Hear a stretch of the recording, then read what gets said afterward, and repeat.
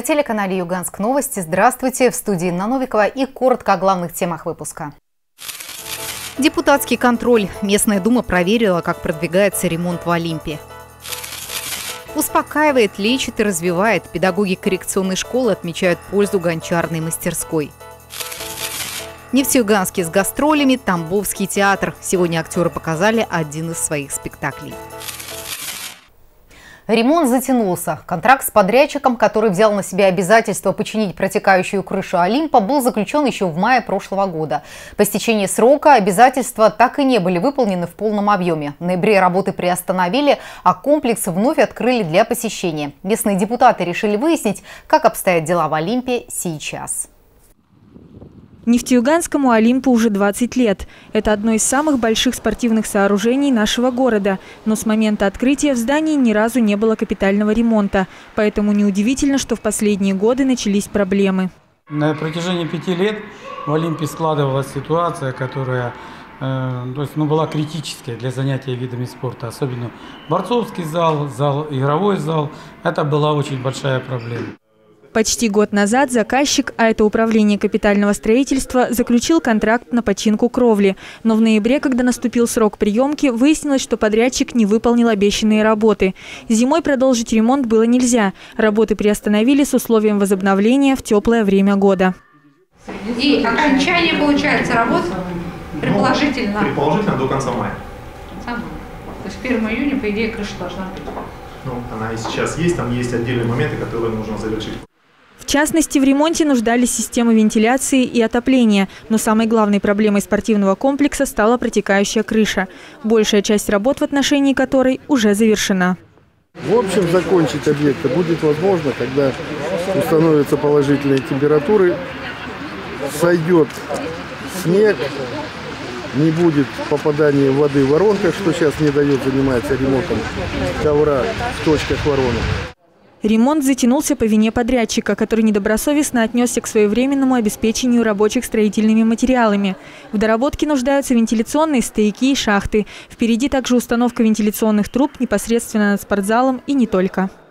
Посмотрели, Лукс, заказчик, да, пообещал, что это все будет устранено в теплый период времени. То есть, ну, будем надеяться, что так, так и будет. То есть деньги а, подрядчику до конца не выплачены. То есть рычаг, получается, воздействия есть. То есть э, будем надеяться, что да, все сделают, переделают качественно. На данный момент как минимум удалось остановить и предотвратить дальнейшую протечку крыши. Ранее вода, попадающая внутрь, доставляла немало проблем. Вздувалось покрытие пола, появлялась плесень, перегорали световые приборы. Во многих залах пришлось сделать косметический ремонт, чтобы привести их в надлежащее состояние. С конца осени прошлого года комплекс после шестимесячного перерыва заработал в полном объеме. Вот в предыдущие года, если вы знали, ну, мы видели, смотрели, у нас стояли здесь ведра и лежали тряпки. Как только у нас или потепление, или дождь, у нас все здесь было залито. Как бы качество, ну, здесь уже на усмотрение уже Самое главное, что не течет и сухо. И видите, в каких условиях занимается сейчас деятельность. Светло и сухо, и комфортно. Также завершение большей части ремонтных работ позволило провести в стенах Олимпа немало крупных окружных соревнований. Но работать еще есть над чем, с этим согласен и подрядчик. Рамка выбрал, если зачем-то сходить так. Плюс ну, появились доп. работы, которые тоже, ну, тоже нужно выполнять. Даже... А доп. работы входит э, в стоимость основного контракта? Доп. работы, да, включили в стоимость контракта. Так что э, какие-то деньги освобождаются.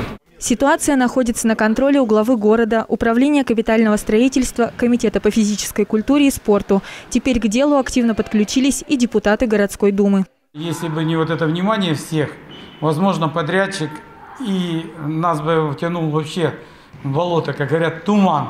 Да? Но все-таки мы вышли с этой ситуации, контракт не закрыт, сразу вам говорю. Работы при, приостановлен. Приостановлен э, до выполнения всех работ, которые будут здесь, и устранения замечаний, которые будут уже с нашей стороны. После закрытия контракта подрядчик обязан не только выплатить неустойку, но и на протяжении трех лет оказывать комплексу гарантийное обслуживание. Мария Пейль, Рамазан Бурнеев, телерадиокомпания «Юганск». Недешевая прогулка. В Югре с февраля этого года начали штрафовать владельцев животных, которые отправляют своих питомцев на самовыгул. За два месяца составлено уже более 100 протоколов. Каждый на сумму от 500 до 5000 рублей. В нашем городе легкомысленные хозяева тоже есть. Зарегистрировано 8 фактов самовыгула. Нарушители оштрафовали на общую сумму 9 тысяч рублей. Регулярные рейды по выявлению нарушений проводят сотрудники ветслужбы, полиции и администрации. Если зарегистрирован факт самовыгула домашней собаки, заявка направляется в службу отлова, после чего безответственные хозяева могут найти своего питомца в приюте Белого Яра. Также о случаях нарушений могут сообщить сами жители. Нужно позвонить в ЕДДС, либо в ветеринарную службу округа. Кстати, за такую информацию можно получить сертификат на услуги ветклиник в размере 1000 рублей. Но только в том случае, если факт самовыгула будет доказан. И хобби, и терапия. Летом в Нефтеюганской коррекционной школе открылась новая мастерская. Уже в сентябре учащиеся смогли попробовать себя в гончарном деле. Обновление появилось в стенах интерната благодаря участию в конкурсе «Доброшкола». О том, как ребята постигают новое ремесло, расскажет Мария Пель. Новая мастерская нуждалась в квалифицированном педагоге. Любовь к детям и желание пробовать себя в чем-то новом привели Елену Геннадьевну на курсы по гончарному делу. Теперь она не только преподает своим ученикам общеобразовательные дисциплины, но и обучает новому ремеслу, которое идет им на пользу.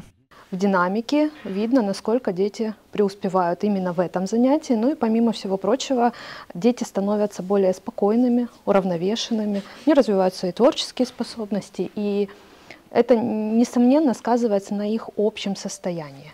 Мастерскую начали обустраивать еще в мае. Она была готова уже в июне. После выхода школьников с летних каникул жизнь в ней закипела. Ребята всерьез почувствовали себя настоящими гончарами. Мы пробуем э, работать инструментами. Не все инструменты и не сразу даются детям, потому что многие из них колющие, режущие. Естественно, обязательно инструктаж по технике безопасности. Ну, и все дети, прежде чем получат какой-то инструмент, они мне рассказывают, что можно с ним делать, а что нельзя. Под чутким руководством педагога ремесло легко дается даже тем, кто начал заниматься им относительно недавно. К примеру, Илья перешел в школу-интернат только перед Новым годом, но уже влился в творческий процесс своего нового класса. Я сюда недавно перешел, и еще новенький здесь, так что я не знаю. Ну, у меня получается разукрашивать, там, делать. Я разукрашиваю изделия, скрываю некоторые трещины, и потом сушить буду. Пока одни пробуют себя в ручной лепке и покрывают изделия глазурью, другие самостоятельно работают за гончарным кругом. Мне заниматься фигурами, там, выполнять всякие различные задания, то, что мне говорят. Какие задания выполняете? Что лепите? Лепим иногда кружки, там, делаем всякие фигурки.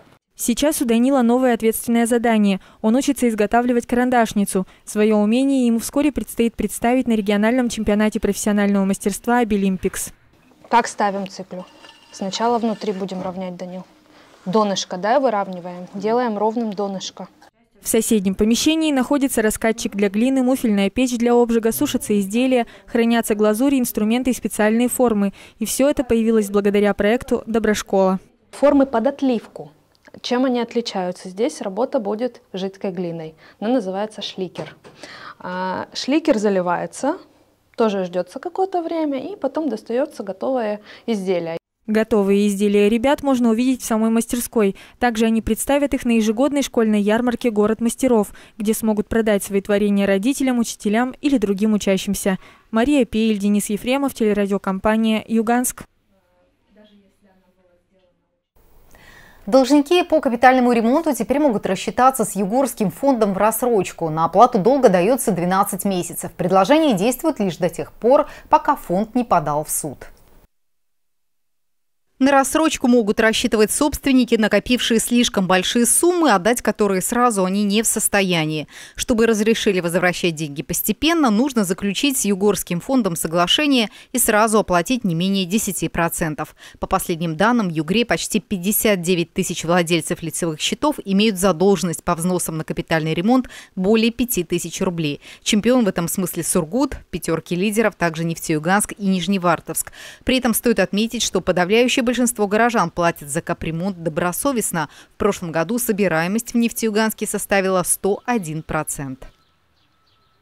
В ближайшие два месяца нефтеюганцев ожидает череда праздников. День Победы, Ураза и Курман-Байрам, День России. А уже через два дня православные встретят Пасху. Об антитеррористической безопасности говорили сегодня на заседании профильной комиссии. Как муниципалитет будет защищать горожан, расскажет Алина Морозова.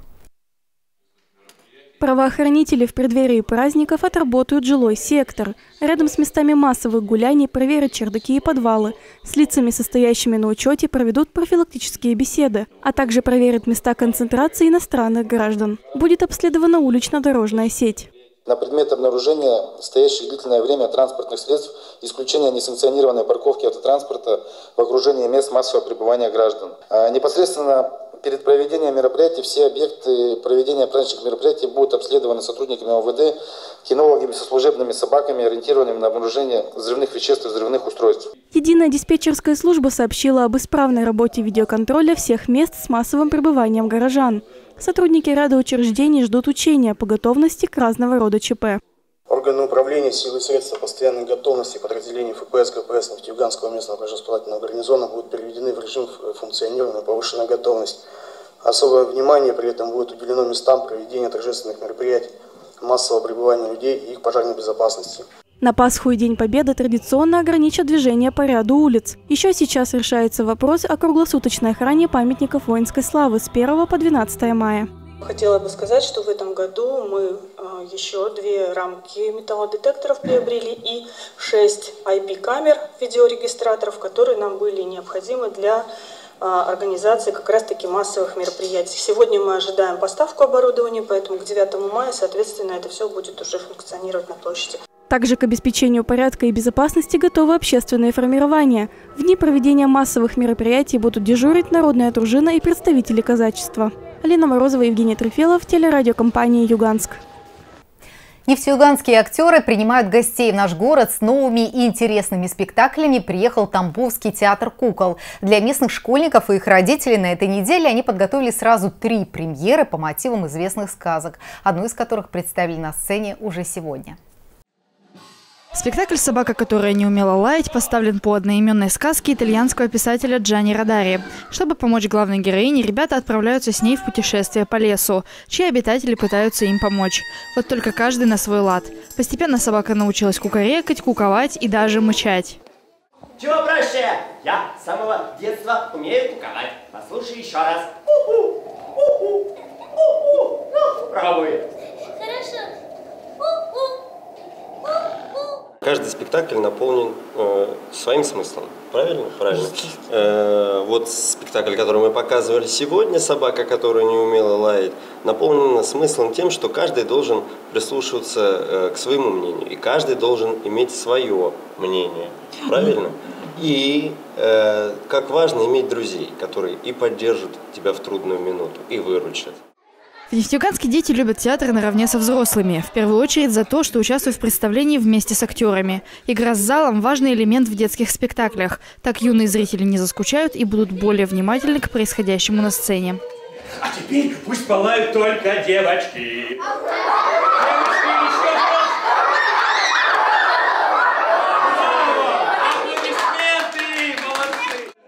Гостей приняли в рамках федерального проекта «Большие гастроли». Его цель – поддержать детские и молодежные театры, поспособствовать обмену опытом.